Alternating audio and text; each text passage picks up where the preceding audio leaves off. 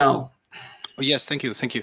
So we have the usual suspects. Um, so welcome everybody. Um, this is a very very strange week, as you know. I don't have a particular introduction to to the unfortunate uh, passing of, of, Jim. We we have all done a, a, bit of mourning by now, I suppose, when we learn the news. Um, and we have the, the memorial in Cozy. So I, I don't know. I don't think uh, we should have anything more because I mean the Jim was very dear to all of us, but there is really no point in in, in continuing. But if if any of you want to dedicate some words or something, like we, please feel free. We can spend a bit of time on that.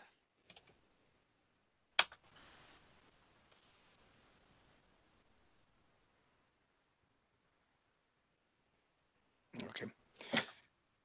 Okay. So then let's start the uh, section for today. So for today, so first of all, let's start with the note well. As you know, let's be nice and so on. We all are very senior members of IETF, so we all know what what's what's about. Um, for today, we have the, the two topics, stateless and um, resource directory. There is few issues left, and Michael has been very very nice to us uh, for, for taking a bit of time uh, to conclude the few discussions uh, coming from IESG. So we are going to go through those first. I believe is because uh, Christian was setting up the computer and everything, but since you're in the call, uh, we, we might as well also start with RD. I mean, whatever you guys prefer.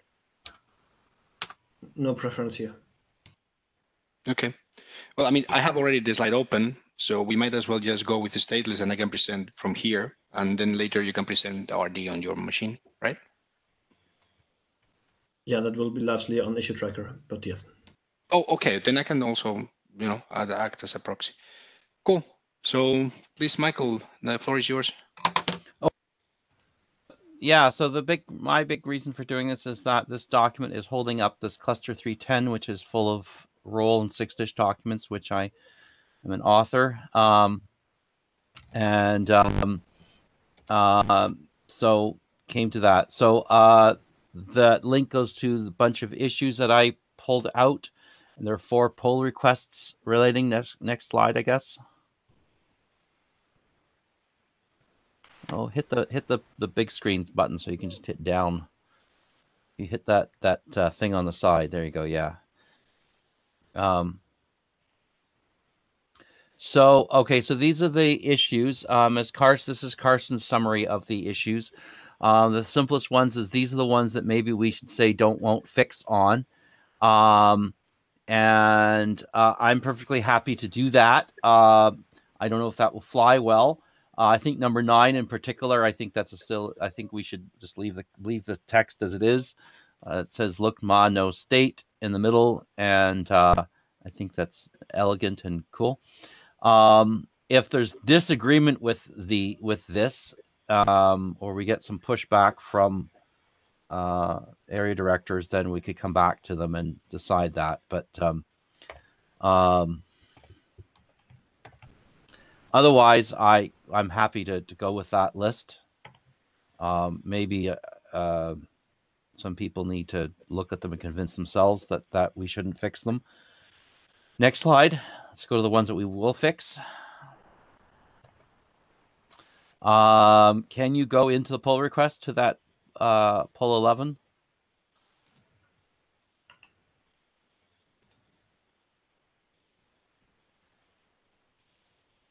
And click on the Files Change tab.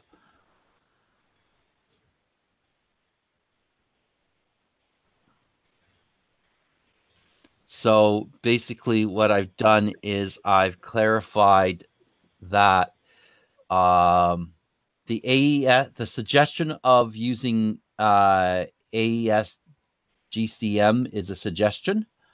So uh, it was in the word uppercase recommended. It's now in lowercase recommended. Um, supposed to be. Um, and I see it there still as recommended uppercase. Why is it that way? It's supposed to be lowercase uh, based upon the um, fact that this is not normative. So yeah, that would be great if you could change that. Thank you. No, click on the lot. Click on the the instead of instead of writing that, click on the, the, the icon next to the preview. No, you're in the right place. Click there. Yeah. plus. Yeah. Click on not preview. Go to the next icon. The next icon after preview. To the right of preview. That one. Yeah. Now change it to say lowercase. And hit add single comment. That changes it right there. Um, so, uh, so then the other part was it said, May, I wonder if I've missed pushing some code here. Um, and didn't get it right. Um, cause I thought I did this already. Um, so basically it just says that, uh, um, this is all a local decision. The only reason to use AES CCM is because, uh, that's what you have in hardware. If you have something else in hardware, then you should use that. Um, and then the biggest con- con- the most of the text was about the fact that if you can't keep track of the nonces, then probably you should just uh, generate a new key uh, if you whenever you couldn't keep track of the nonces.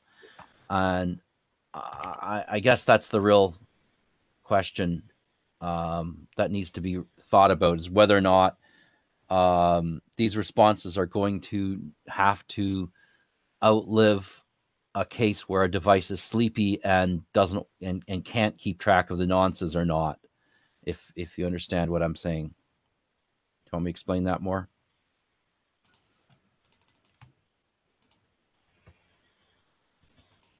Um, maybe carsten you can comment on the comment you left here start the discussion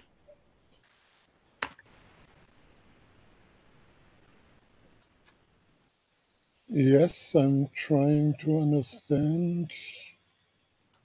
Can you maybe show the whole thing? Okay, so let me let me maybe just start for everyone at the beginning. If you generate a key and you keep it for encrypting your state, um, and you go to sleep, uh, sorry, and you use CCM mode, so you need a nonce that you should never repeat. Um, and you send a, a request, and then you go to sleep um, and then you wake up and then you notice you didn't remember the nonce. So then the response would come back and you might say, oh, um, I'm going to uh, I'm going to generate a new request and I'll use the nonce again. So the issue is that you have to either remember the nonce when you go to sleep, so put it in NVRAM or something like that, or each time you wake up, you have to generate a new key. Okay, so you could generate the key once at boot time, as Carsten suggests, and then you have to keep track of the nonce uh, that goes on. And there's lots of ways to get the nonce for free if you have a clock that always increments or something like that. Um, and but if it turns out that you send a request and you expect a response before you go to sleep, then you could just generate the key each time. You don't have to you don't have to keep track of any of that across uh, sleepy times. Uh, whether that's appropriate for a device, I don't know. It's hard to say.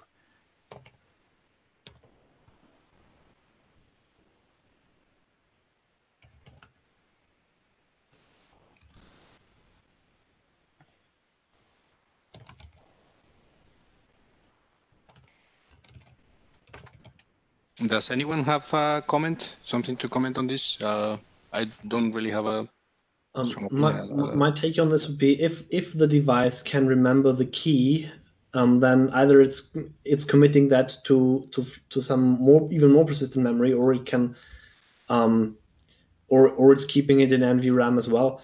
And even if it's committing the key to some more persistent memory, then there's ways that we're using in OSCORE um, to make sure that even in an uncontrolled shutdown, the nonces are not reused without hitting that memory every time you every time right. you take a number.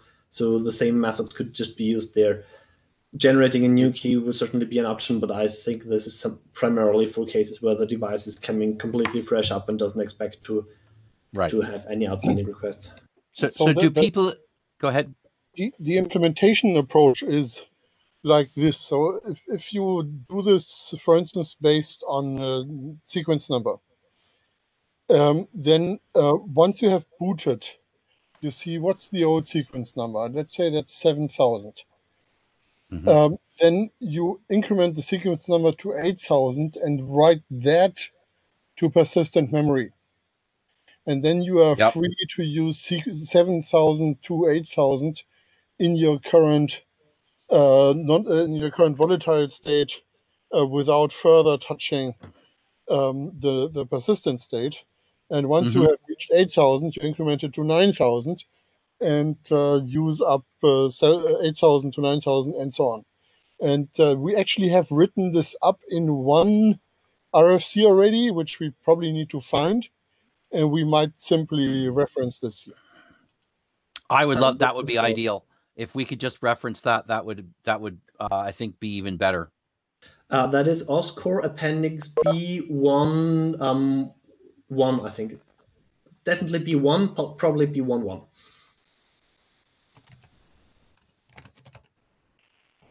Okay, so I'll insert a reference somewhere to best practices for maintaining the nonce. Um, um, Jim, and maybe delete something.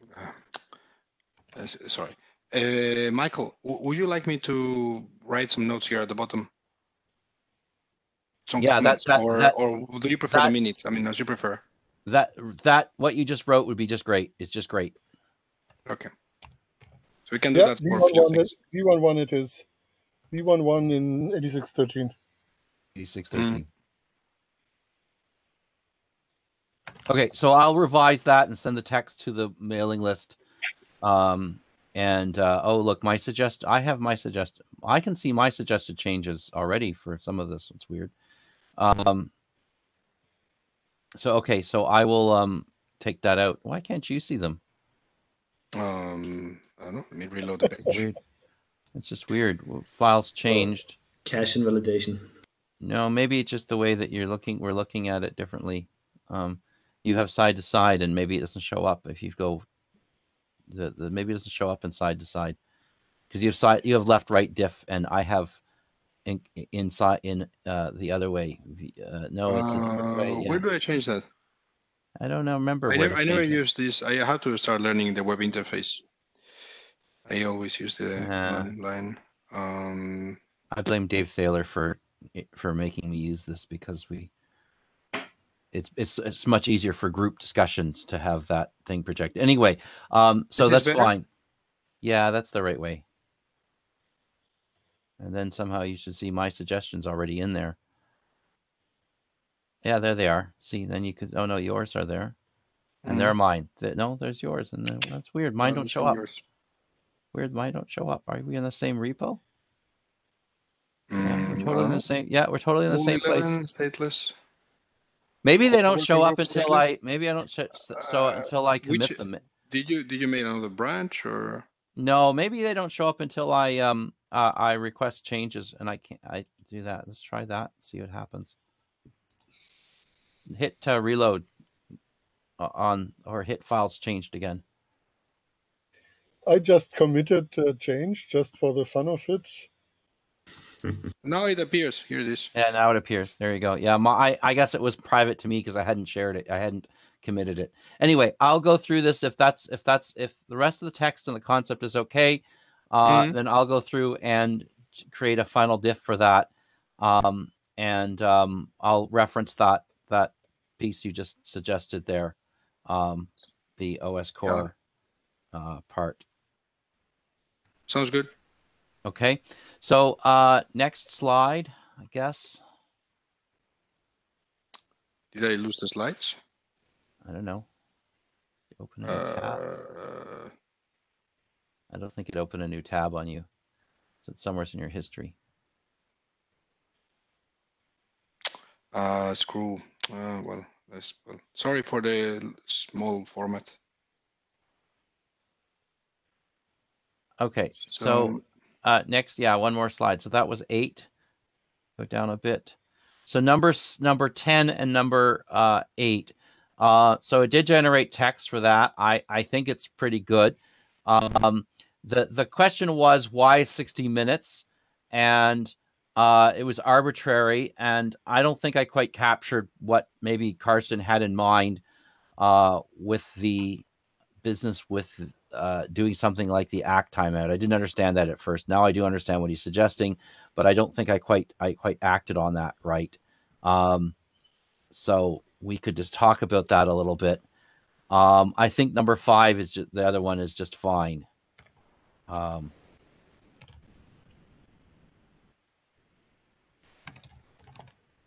so pull request. Oh, some more pull. Uh, you don't want to discuss the issue?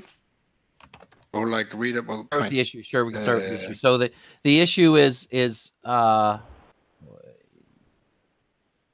the issue is why sixty minutes, right? What what was it based? There's no context for why sixty minutes and what the issue uh, is, and uh, I, I guess the point the point is that if you've gone to find out what the extended what the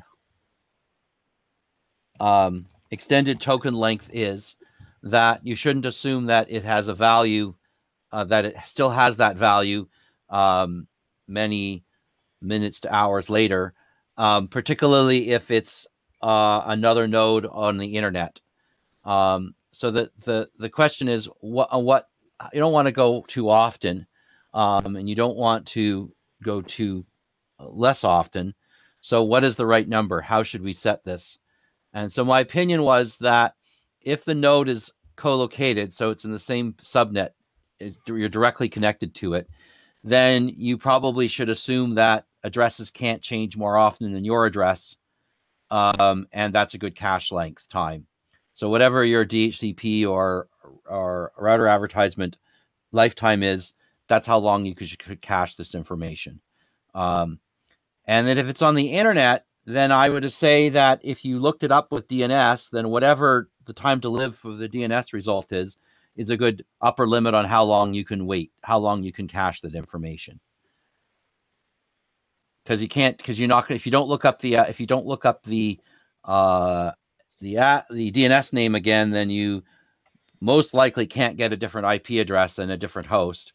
Um, of course, the host could change under the covers without you knowing, but uh, probably people shouldn't do that more often than they change their DNS value. That's what I would suggest. And if you still don't know, then the suggestion was 30 minutes, 1800 seconds. Mm-hmm. And that's in the pull request.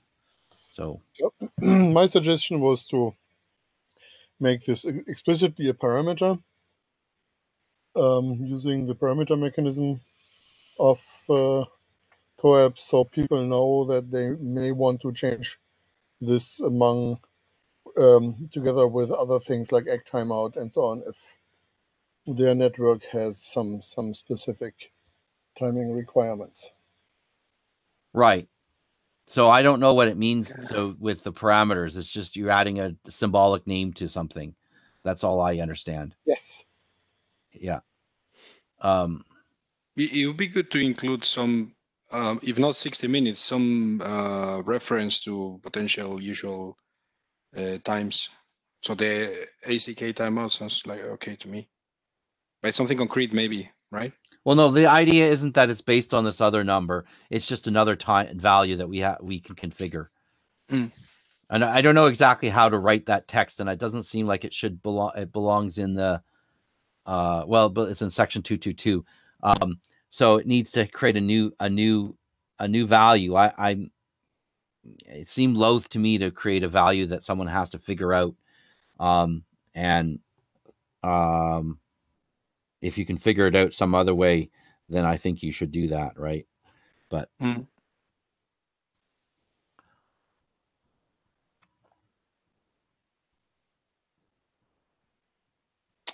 ah, okay.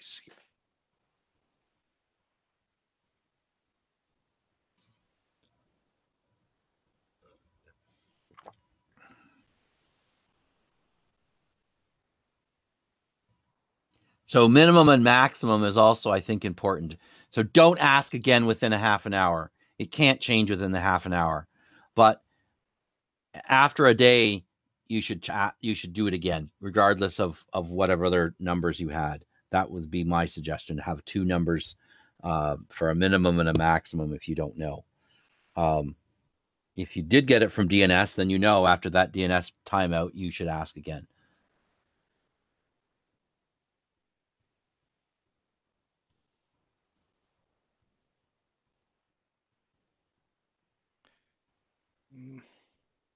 I don't know if that should that's highlighted should be uh, normative or not. I'm just not so sure. So um, um, some endpoints may have uh, IP addresses if it's IPv6 that are long longer than one day. Oh, I'm not saying I'm not saying it, I, I'm not saying that that I'm not saying it can't be longer than that. And if and if you have a if you can't tell what the what the you can you might be able to guess what uh, a, a neighbor is by your own lifetime, right? But if it's on some other part of the internet, you have no idea how long the addresses are valid at that end.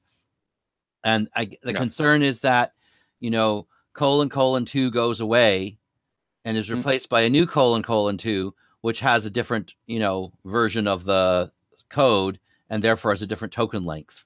Ah, right? okay, okay, okay. Mm. And so, so the idea is that if it's been more than a day since you checked, you should probably check again. Mm, Go okay. through the the trial and error process. Um, if it's if it's in your if it's if it's an adjacent node like you're in the same subnet the odds are it has the same lifetime that that you do so if you have three week lifetimes because that's what you got or you know year long lifetimes then you could assume the neighbor has that long a lifetime too hmm. there's a lot of logic to figure this out but you know on the other hand, you could just check every half an hour. It probably it hurts your battery, but it probably better than getting it wrong. I, I don't I, I I don't really think this is going to change that often, but um, I think it's a bit of a boogeyman. Um, and so they're reasonable default values. Yeah, it seems reasonable that if you check once a day, that that you know it's that's enough. Mm-hmm. Um, the guy who's going to have this problem is got is in a lab situation, and he's got changing his equipment every every hour as he reboots and puts new code out. Yeah, if they are actually shaped as uh, new parameters defined here, those can be exactly the default values. Yeah. So I don't know exactly how the how we. I, I have to think of think about how to write that text with respect to like ACK timeout. I don't know how to I'd have to figure out how to do that. If someone knows how to do that easily, it seems to be it, it seems to be written in a particular way to call out that these are COAP uh, values, t- uh, tunable values. Like I can ima- imagining you really want to bring up the fact that this has to be a number sign defined somewhere in the code or something like that uh, to for an implementer that this should be tunable The, the this the last sentence reads a bit strange, but anyway, that's uh, another story. Okay. Would, yeah, we can all sure. have a revision for for proofreading for non-native speakers. Sure. Okay. So um, next item, uh, where, where my tab? Okay. So um, go ahead. Oh yeah. So I actually 60 minutes. We just covered that. Um, that's what we just discussed. Sorry, spoofed response, the last issue. Uh so the text says essentially is trying to say that it might be that integrity protection on the um, stake token is in some rare cases unnecessary um, and and I think that that that text in red that was trying to say that confused the situation, and so I rewrote that.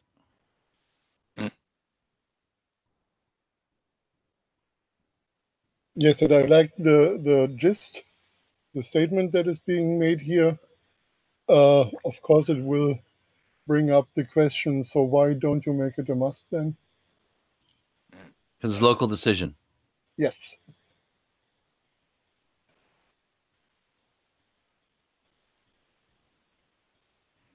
Carsten, are you suggesting to write a line explaining that, or? No, I'm I'm just trying to to anticipate potential reactions to this change, and mm. uh, uh, Michael has said how to defeat these reactions. So right. let's let's go ahead with this thing. So I think we really should merge this now. Okay, so you want me to merge this one? Yes. okay, I click the button.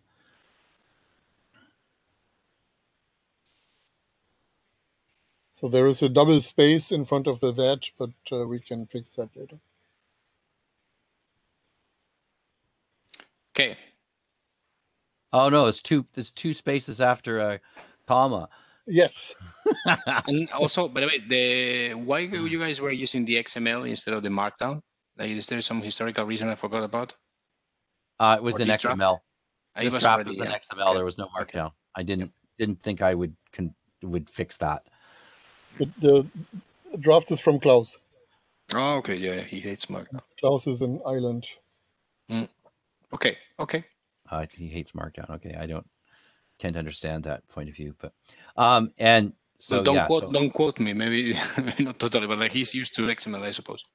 Anyways, but That any was other it. issues and Oh, sorry. So those are the ones that I thought were controversial that we could solve. Um, and so uh, the other issues were don't fixes that I uh, or won't fix, and I need some some review from people to say to agree that that is the case, or to say, yeah, please fix it. Yeah, and we need text to say that say why we are not fixing it. Yeah, that's right. I think that that's really the the piece of work that is still missing.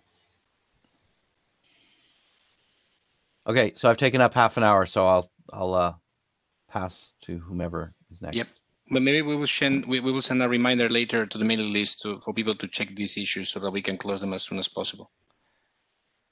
And like Good. just add some rationale why we are uh, not fixing those. Okay. So um, uh, resource directory now. Yes. The last can touches. I get? Yep. uh, can I share the screen? Let's let's see if that works. Yeah, I should give you permission. Uh, Do you, do you need a special permission at the moment, or can you just try? Um, I'm trying, so looks like it. Yep. Okay. Um, it's not yet there, okay. at least not for me. It says I'm sharing the screen. Uh, to me, it shows uh, is starting to share content. Still thinking for me too. Same here. I mean, I can try running this in Chromium. Wait, wait, maybe I should. I don't know if I can make you presenter or something like that. Uh, no, you Oh, are already. yeah, You're already presenter. presenter. Uh, it's, Yeah. it's just that uh, we have the usual problem that when the presenter changes, the stream doesn't get set up properly. by- rest of us have to uh, reload. Okay. Um, does it help if I do this in, an, in a new session, or is this counterproductive? No idea. And let me try quickly if that works all right. If not, um, so then I would stop sharing here. Reload didn't help for me. I think.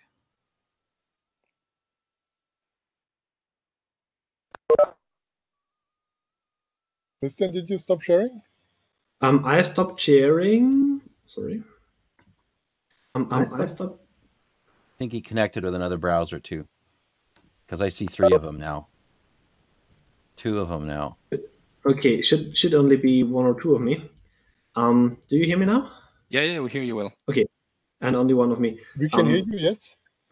Okay, I'm trying to share here, but it doesn't really Okay, look like it's see your doing any better. Um, okay, then maybe we just go with um, me pasting links to the. Um, I can, you know, we can go through the. Is, is it on only on the issue tracker? I think you need ah, to. Uh, it's it's I think you it's a need to mix- make your other you the presenter is the problem. No, no, he's the presenter already.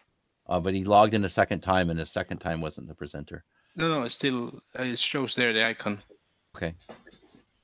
Um any anyway. If I'll I'll just paste you paste over links when when there's somewhere to go, um, and if you could follow that.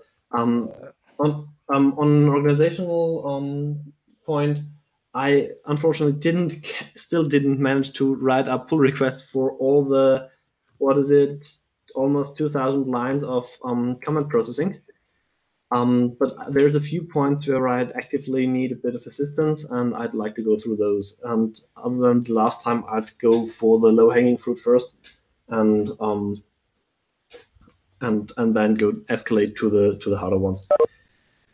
Um, so there's there's one um, I don't have really have on the, on the issue tracker, but um, we got a comment that um, on, on the on the paragraph from a system design point of view, the ambition is to design horizontal solutions that can enable utilization of machines in different applications depending on their current availability and capabilities, as well as application requirements, thus avoiding silo-like solutions. Um, on the topic of this being buzzwordy without actually saying anything.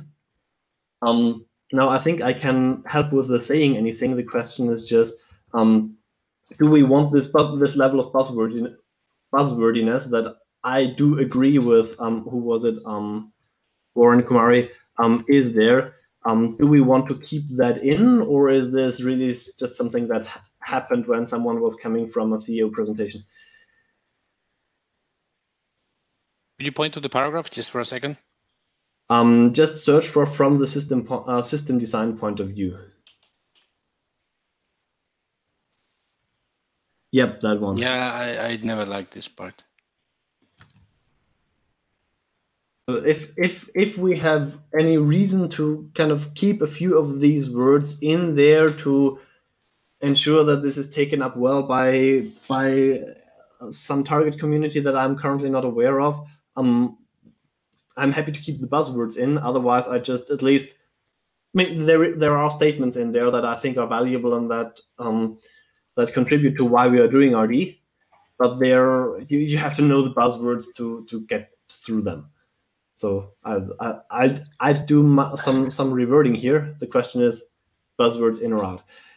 I think I think just some rewording to ex maybe just mention that the discovery is an important feature and, and and that is important that it's it can be applied to any environment or any use case, I suppose. Can we simply delete that sentence? Yeah.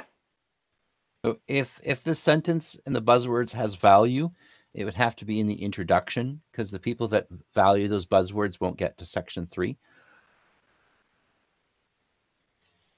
Can we delete that sentence? Um, so I would say it's inappropriate at this at this point in the document. I'm I'm fine with that. Um, I'll just make sure that we don't lose anything of where I see value. But yeah, yeah, you have to change the next sentence because it says such design. Sure.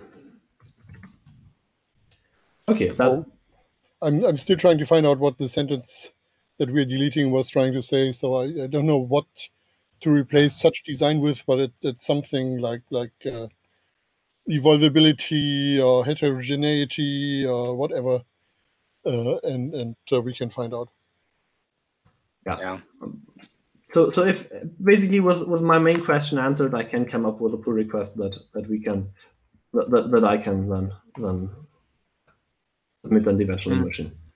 Um, so next item is a question on the on the topic of DHCP and SLAAC. One is it is it pronounced SLAAC? I'm not sure. After after after I find out that it's not cuddle, um, I'm always a bit careful. Some people still like cuddle. Um, it's yeah, I, think, I think it's okay. With a long air. I I I, th- I think cuddle is cute. So anyway, um, on on that particular, I link I linked the issue in the chat. So if you could just open that up, um, pull pull two six three. Um, the point here was that we presented SLAAC and DHCP as um, mutually exclusive, and that they could mm. only be used when basically they could only be used for discovery when they are also used for address assignment. And the point was that this is not the case, and the pull request already changes it to say that when DHCP is in use, immaterial of whether it's used for address configuration. Um, what I don't know, because I don't know SLAAC and DHCP well enough, is does this go the other way around as well? So do we need to say um, when SLAAC is in use um, or, or when neighbor discovery is avail- available, this is provided by the RDAO option, or is this something that can stay like this? Um, oh, yeah. Or can the, the paragraph above stay like that. The the item three. But the item three is about the case when we do not have DHCP. Well, the, not necessarily. It's about the case where we. No, the item three is about the case where we do not have DHCP. Okay. Oh. And then SLAAC is the only option. And then the, the, the logical consequences that you are using SLAAC. Okay. And for that, we have the RDAO, RDAO option. Okay. No, there, there's three cases. Yes. So so um, address configuration can be done by SLAAC or DHCP. But in the case that it's done by SLAAC, you can have the O bit set, and you can also have DHCP v6 providing a, uh, a, a an option. Mhm. Yes, That's, which uh, means that that the, the two of the cases are exactly equivalent. The one case is you have DHCP, and the other case is you have DHCP. So right, right. But but the, but the the case if where here, have DHCP. but the it, it- if it's the case is not that whether address configuration of the network is Right. performed by SLAAC. The the case is when O or, or M is are both zero, then you have to use the RDAO option in the in the uh, in the AD. You can. You still Yeah. have. Okay, then that's the only source of it, is what I'm trying to say. So you can always use RDAO with SLAAC Mhm. If you have DHCP, or if you don't have DHCP, you always can use RDAO. And if you have DHCP, you can also provide a DHCP option. So the concrete change here would be to say that uh, three, um,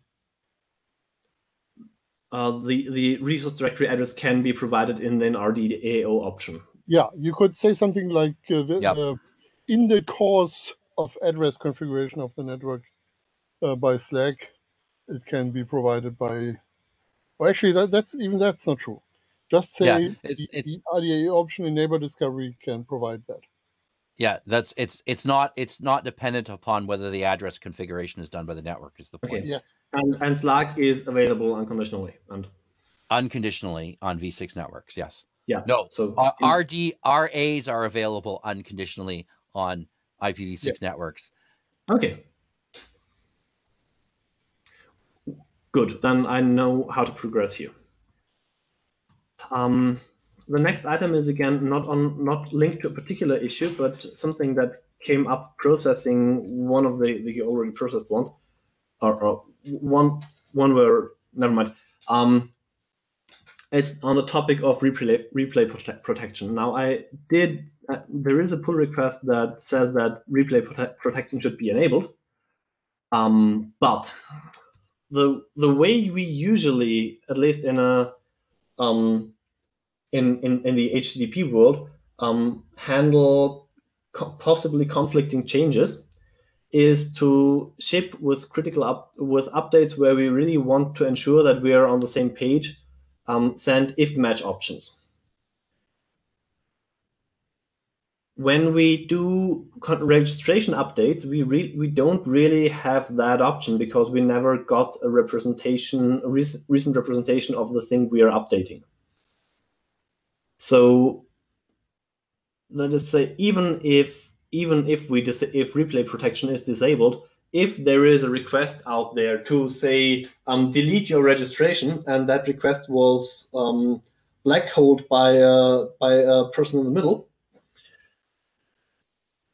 that request would get replayed, and when the same client registers again, um, that replay, that thing could be injected, would not even be a replay, and because it's not making any assertion of on the current state of the um, of the resource directory, it would pass. So the, the the actual two ways of mitigation are either to allow us to use if match or to introduce additional freshness requirements on the request. Those are probably for the resource directory um, not too important because really what's the things that we can change in registration. Um, but we might want to consider this for more general applications that we describe, like PubSub and and others.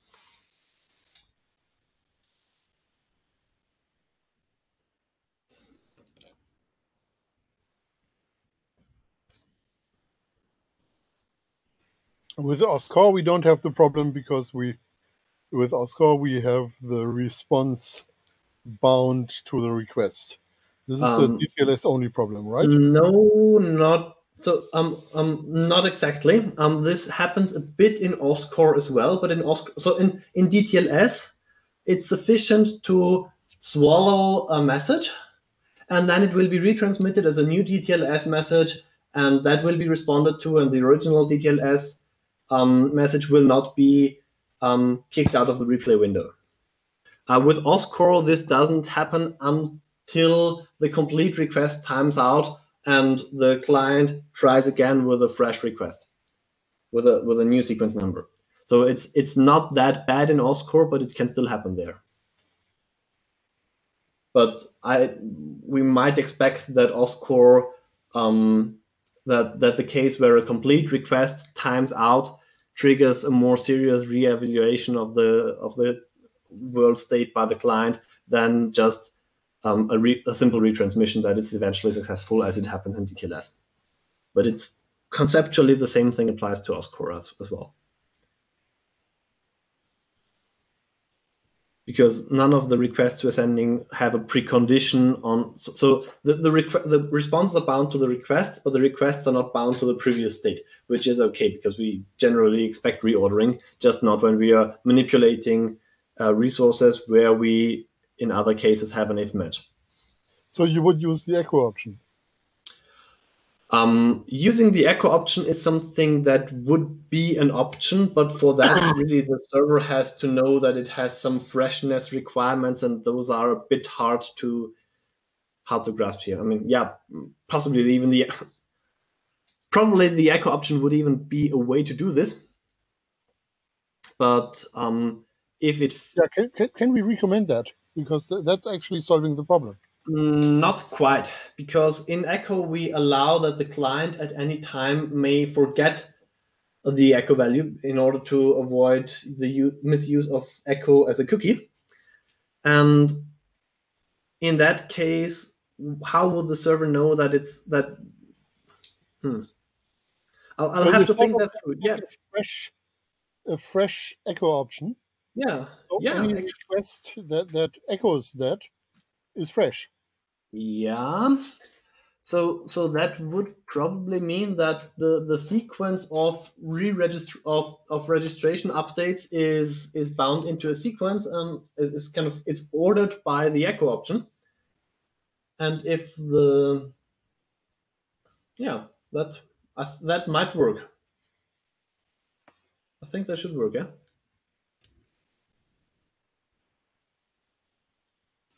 Yeah, I, I wasn't aware that there are kind of application level reasons to use the echo option, and um, so that that uh, got me thinking here. Right. Yeah, we.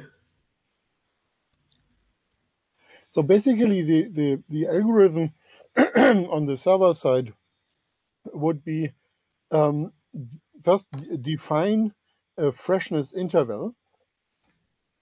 So uh, a registration update is is uh, fine if it uh, uh actually has been um, issued within the last hour or so. And then if the the client hasn't accessed the resource directory within the current DTLS connection within the freshness interval, uh, send back an echo option. It, I think this would not even need to be time based. This could be event based. So basically, um, the, the the echo value is it, uh, an echo value is good as long as there only registration updates happen, uh, like uh, plain lifetime refreshes happen, and only when a value is actually changed, then the old values are not good anymore. So this would be really really a, a more counter thing than a than than a time based thing. Okay.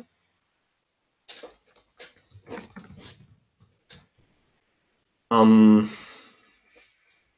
I mean, this is the thing is for resource directory. This is probably not as critical as it's it will probably be for for other um, for other core applications. Right. So I can sketch this up for this case. It's just another change that will happen without that will happen very late in the process. That has a very weak attack um, scenario.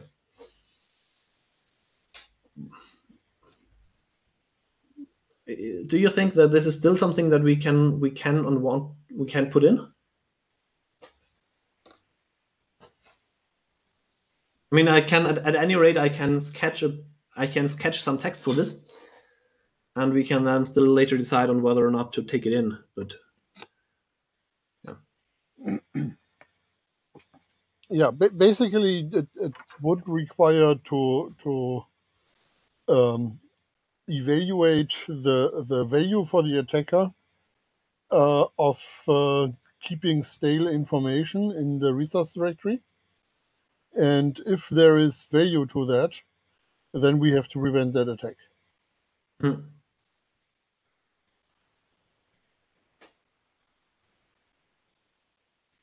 Okay, yeah, I'll I'll I'll put something in there along with the pull request.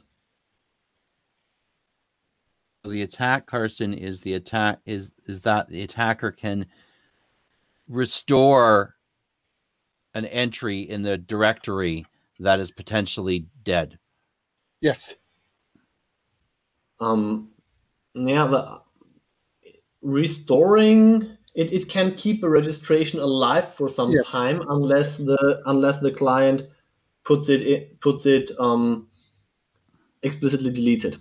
And the other way around, the attacker can delete a registration that has previously deleted itself. So if a device always deletes its registration when it goes to deep, deep sleep, um, then one of those um, deletions could be stored and used later to kill the registration uh, right after it came up.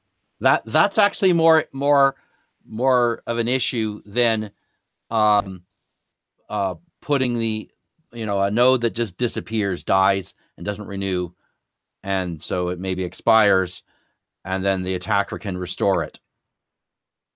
That's I, it seems a weird. I don't know what the attack is, but being able to delete the registration, you know, arbitrarily, that really does seem like a concern. Yeah, and and actually, uh, reviving a registration does it also revive or bring back uh, existing other other I don't know like uh, observations from the in the case of Lightweight M2M, for instance, the Lightweight oh. server and RD are collocated. No, it wouldn't bring anything back, right? It's just the registration entry. So at least not if the resource directory is in, in some way used as it's intended. It might do yeah. something like this for, for Lightweight M2M, but reg- but observations surviving an IP address change um, is is something very um, particular. Mm. And and you mentioned that it would it would also, uh, or maybe I didn't get that right. It would also prevent uh, similar registration from from uh, from the previous endpoint or not? It would prevent what? Sorry. Sorry. The, the if if you revive the re registration, so if if an attacker, so I'm an I, I'm a CoAP endpoint. I register on RD. I get the uh, location, and then I I go idle for a long time, and then someone else. Uh, what was the expression? It's not revive. Uh, it's a yeah, probably re- keeps keeps the registration alive for longer than it should have been. Yeah, uh, can the previous endpoint still use that registration? For instance, yes, sending yes, a registration update. Yes, it can. Yes, it can. So so the the attacker cannot steal the the identity, uh, steal the identity, or get any additional permissions. Mm. Um, it just it, it can just replay things that the the endpoint earlier said. So mm. pro- probably the worst thing they can do is is um, inject the delete again. Mm. The injected only... delete again, as I said, the injected delete again is a real big deal. I'm just trying to think of yeah. the other yeah. case where, um, um, and and and so if if there was a half solution that made deletes uh, not replayable, but made adds replayable, um, so so if if if some node deletes its entry and then goes into a deep sleep, um, and some an attacker puts the entry back in. I, th- I think then, the attacker can't even put the entry back in if it if it was deleted. Um, ah. Okay, so it would have to be it, one that timed out or something. Yeah. Um, but there's a, there's a third class of changes that we don't we can't say much about yet because we don't have them. That is uh, changes to registration attributes. So the registration attributes we have now are pretty tame because either they can't be changed like endpoint and sector, or they are things like lifetime, which is probably changed rarely just as well. Um, but any registration up, um, attribute update could have this could suffer the same fate. But for lack of entries in that registry, we don't we can't anticipate yet what what the effect will be.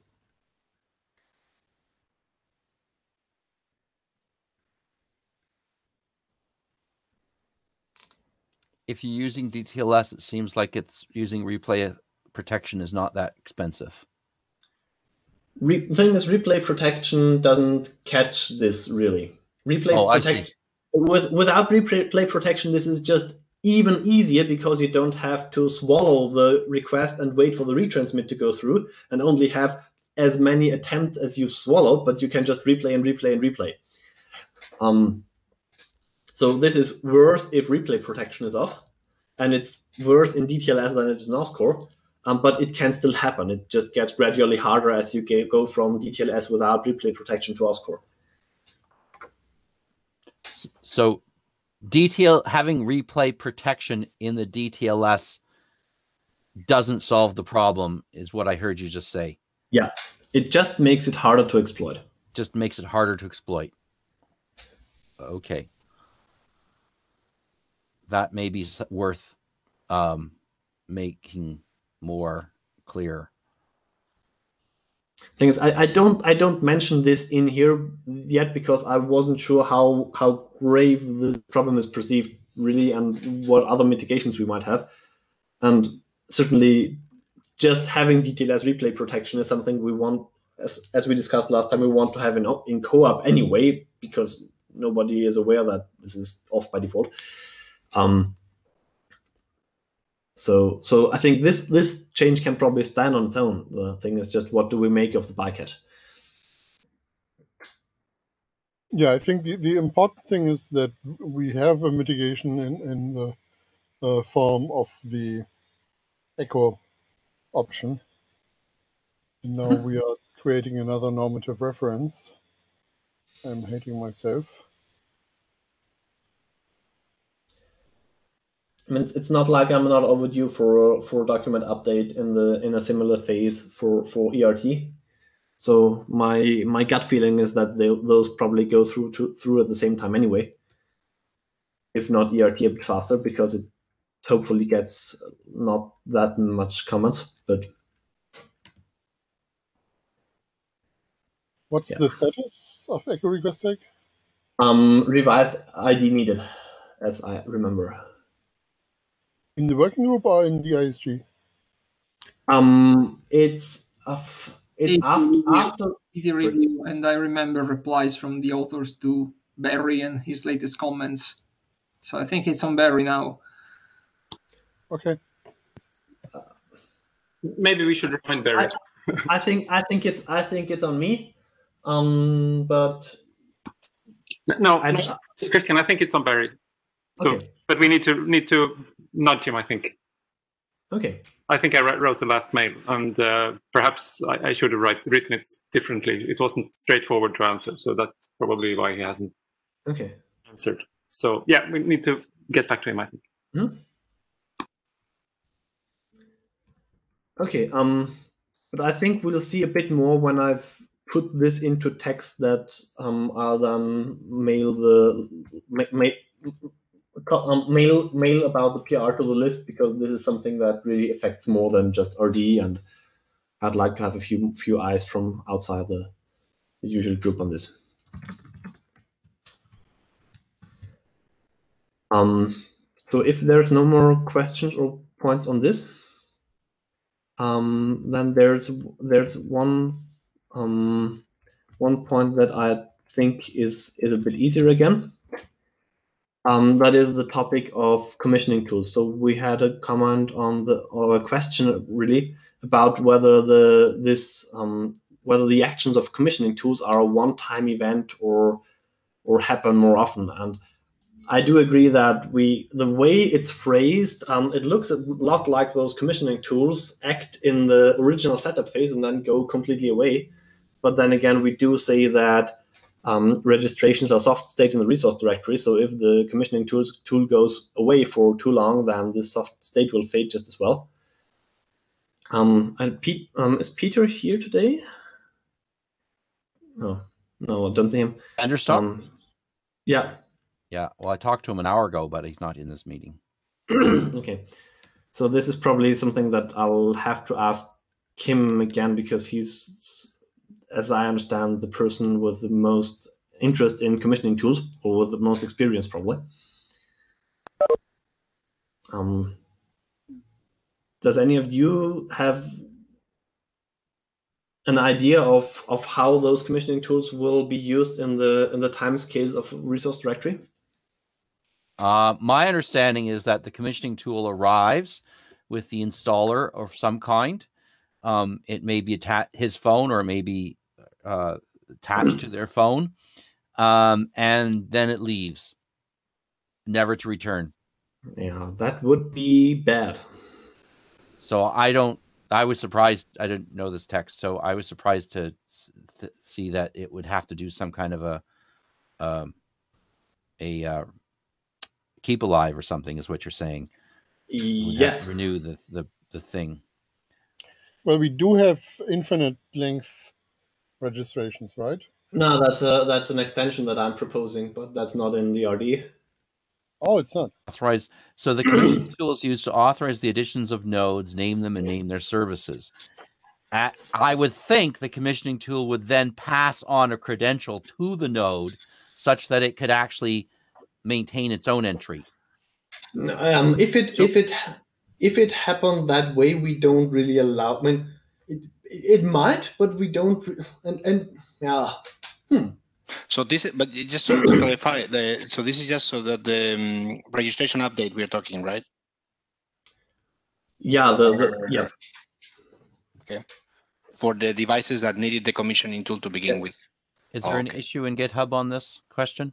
Um, not yet because I it's it's kind of just occurred to me while processing those. Um, Okay, if you write an issue, if you write yeah. an issue and assign it to me and Peter, I will will will I'll make sure that Peter and I answer this question because I've been through this process okay. with him as well. Uh, on and I see this is lighting, so uh, yeah, and maybe we'll get Esko as well to have an opinion. Okay, thanks. Okay, um, that brings me to, to two remaining points. Um, one is the one where I've um, around a lot in the last meeting on the topic of author of how do we bind authorization to resources. And given that this has come up implicitly in one of the comments, this um, I, I now have a better example for this. Unfortunately, still without without um, much text here. Um, but if you um, go could you go to where is it the discover uh, the URI discovery and basically just above section five.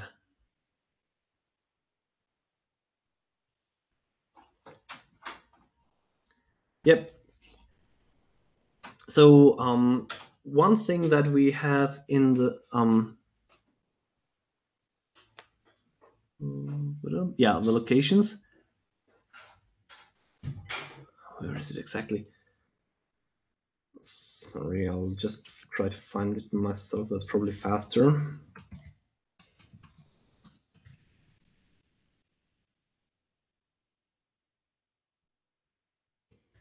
Um, yeah.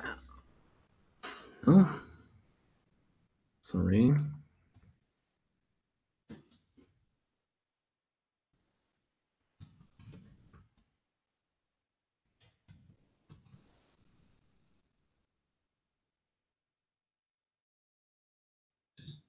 Yeah. Um, so in in 4.3 on page, page um, okay, you don't have pages, um, where it says, um, and and not limit the set of discovered URIs to those hosted at the address used for discovery.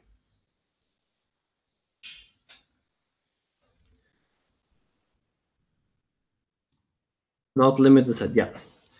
So what, what we have been allowing for some time is that the that in discovery basically you are directed to a directory some at some other host.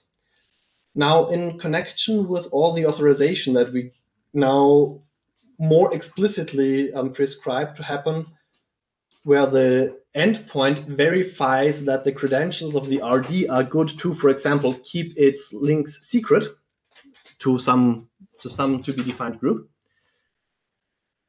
There, the client relies on the resource to be actually be a directory, a resource directory. Um, so imagine a case where you have a border router that is queried for discovery, and that border router has in its uh, well-known core a link to the actual resource directory. This would this would be aligned with the with the lookup recommendations, and there the border router would say there is at coap colon slash slash rd.example.com slash rd.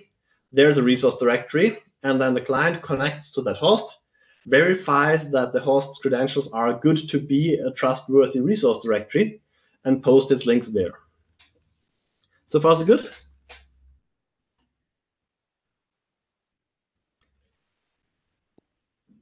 You stay yes. with me? Yeah, okay.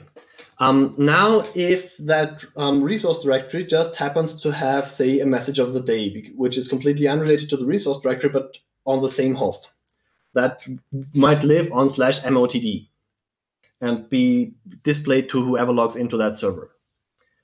If the border router now um, put into this discovery step not uh, uh, example.com slash uh, slash rd but slash motd the client would just as well go to the same host verify the host credentials but um, post its data to a resource where it would be sent out to whoever happens to be around um, who did something wrong there? Or, what went wrong there? And this is happening here in discovery because we don't protect the discovery steps because we say that discovery doesn't need protection because that later the RD will be authorized, will will will have its author authorization checked. But it seems not to quite cut it, and the same problem is showing up again when people are when people want to trust links found in the resource directory. Yeah, so the, the authorization should be for the resource, not for the host. But at least, I mean, how how does that happen in practice? I mean, if I open a TLS DTLS connection, I get a certificate that says something about the host. Um, if I establish an ACE context with it, then I get a token that um, then I get a token, and with that token, build up an OSCORE context, and I could easily be allowed to post to MOTD in that OSCORE context. So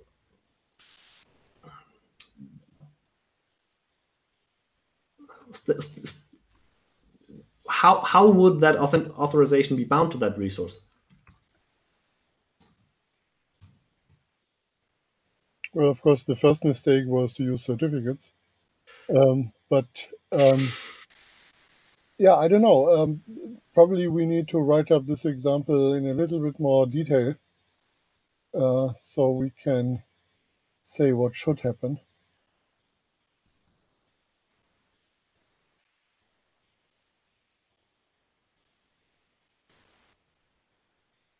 Okay, I, I can I can do that. If we don't have any any fast answers, then it's probably better to think about it and come to good conclusions than than do anything quick. Yeah, but the, the underlying observation is that different resources offered by a single server may have different security properties. Yeah. Uh, so doing an authorization that is uh, host based only is not going to work. And that's exactly one of the, the biggest uh, attack mechanisms for OAuth, by the way.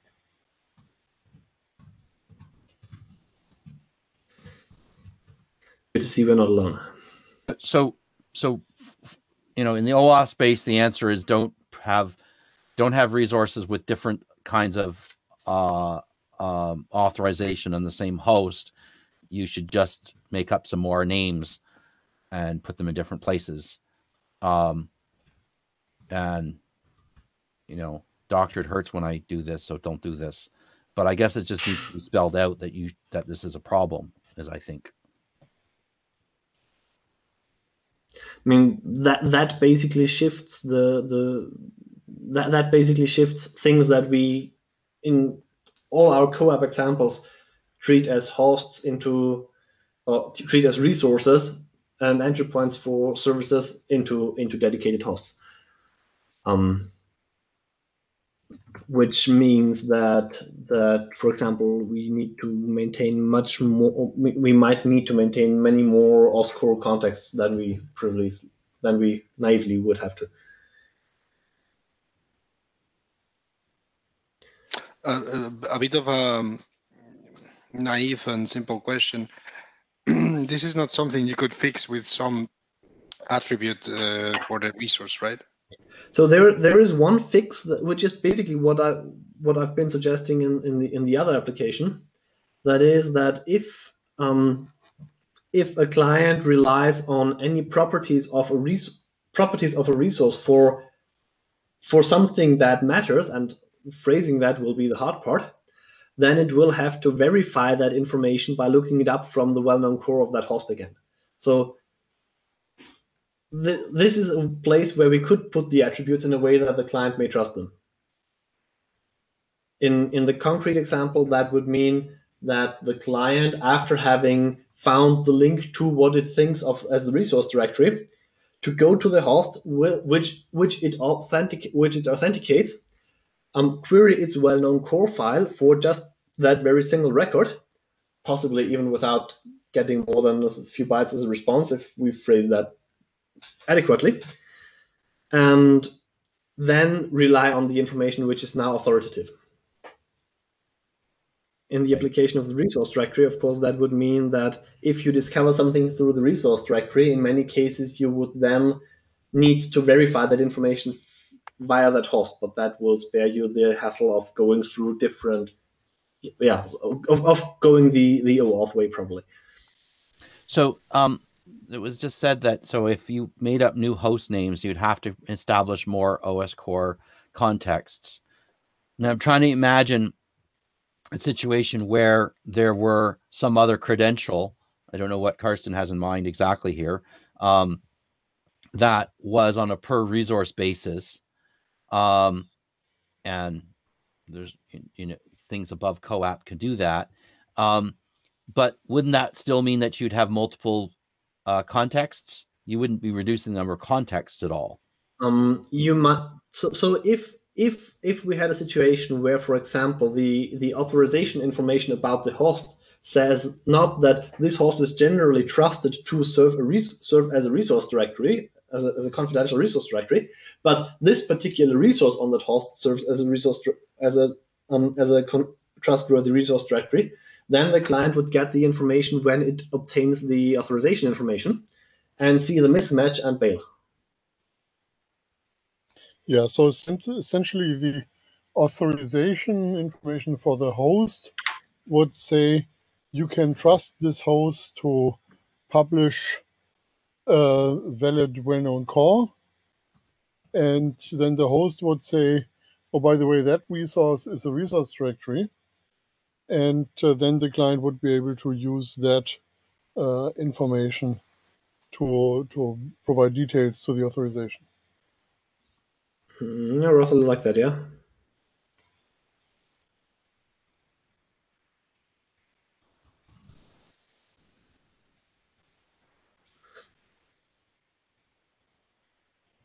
That, that's just not how things work right now, I think, but maybe we can make them um, or at least, I mean, pro- this is probably not something we will solve for RD, but at least to kind of find the pain points and offer band aids until we have a, until we have something better.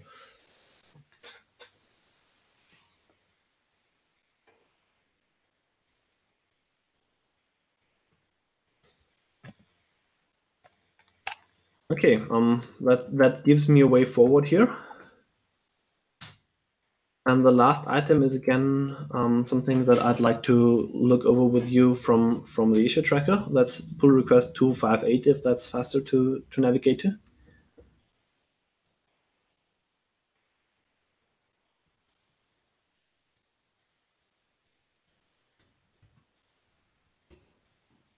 And if you that's if that's probably best viewed as files changed with the with the um, changes below each other. You yeah.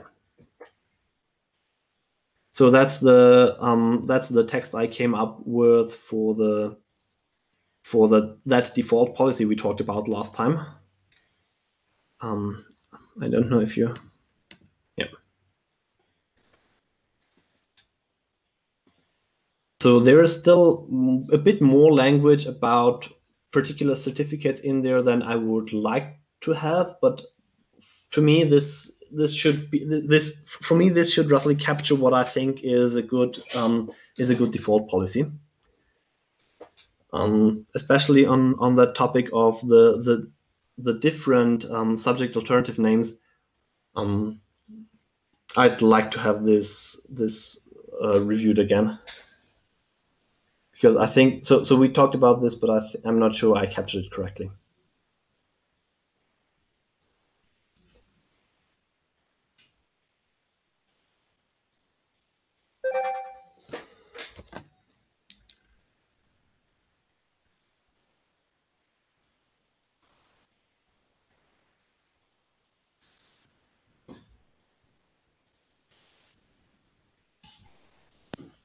I, haven't fully read the whole thing. Um, in principle, it looks good. Maybe we can um, a show of hands of, of those who would volunteer to have a look uh, to this part uh, rather soon, or sooner rather than later.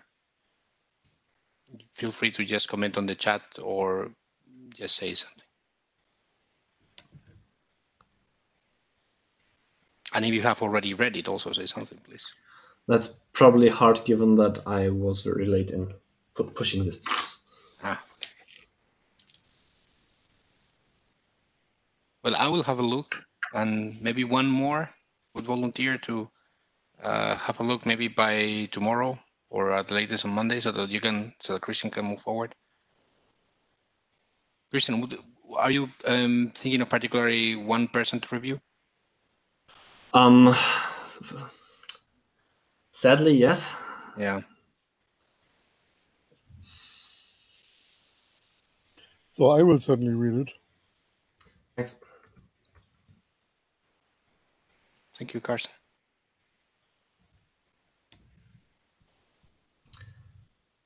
So um, that for me that concludes the big open issues where I where I know that I would where I needed active input. Um, I might still come up uh, so, something might still come up when I process the rest, but I think um, I can make everything of of everything of the comments into either a we do it like this because or into a pull request. And I've already started um, merging pull requests as well to get things into a more consistent shape again. So my plan for action would be that unless something is like this really really something where I'm Mm, where I'm very um, unsure about whether it's the right thing, I'd go about um, merging things in over the next few days.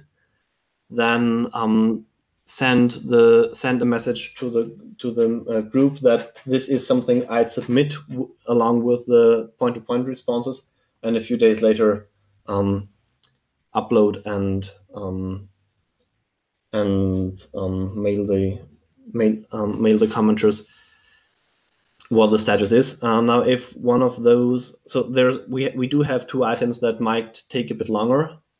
Um, those probably that is the the echo mitigation and the topic of um, authorization. I probably won't merge them in there, but they don't they don't pertain to right on point to, to particular commands that um, that we got either. So at least we can have a version that addresses the comments that came up and then still let them know that there are things that we are pondering that that might be good to include or see what the status is by then.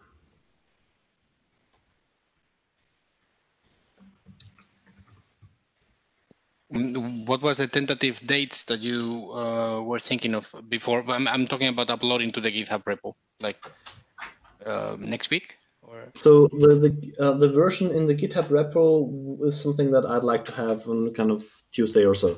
Mm. So I've gotten into this whole writing process now. I think I've spent yeah quite a bit time yesterday and today on on processing this. So I think I'm I should be through by the weekend. Mm. Very good. Very good.